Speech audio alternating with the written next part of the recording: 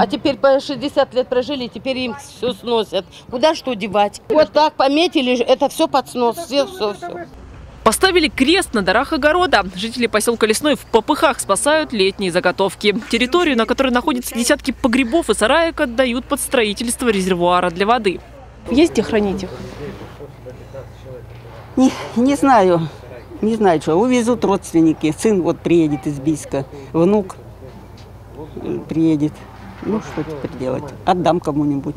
И я не знаю, как дальше быть. И нам дают, вот три дня дали, У- убирайте все из солонину и где, где хотите, там и обоснуйте. Уезжала, платила, приехала, а тут уже все, там середину уже все разбомбили, все уже снесли.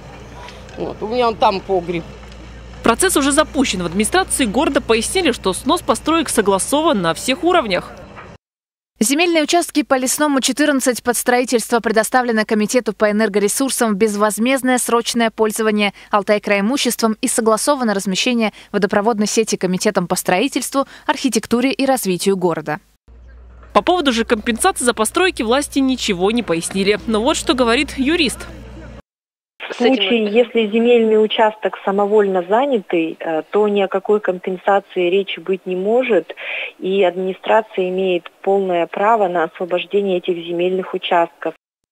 Потеря погребов еще полбеды. Дело в том, что резервуар, который появится на этих руинах, не решит проблему с водой, утверждают жители. Старую часть лесного многие годы водой обеспечивал местный комбинат «Труд», скважина его. Но это не ресурсоснабжающая организация, и брать плату за услуги комбинат не имеет права. Власти решили навести порядки, построить емкости и качать воду с единственной рабочей водонапорной башни лесного. ее давления и мощности башни не хватает на сегодняшний день, но сейчас начнется сезон полива, ее вообще будет не хватать. И с нашей башни еще сюда дадут воды. И тогда мы будем все сидеть вместе без воды.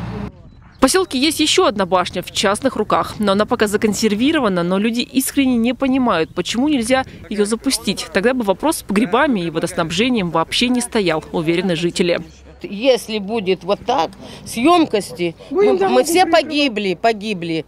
Валентина Аскерова, Андрей Печоркин. День с толком.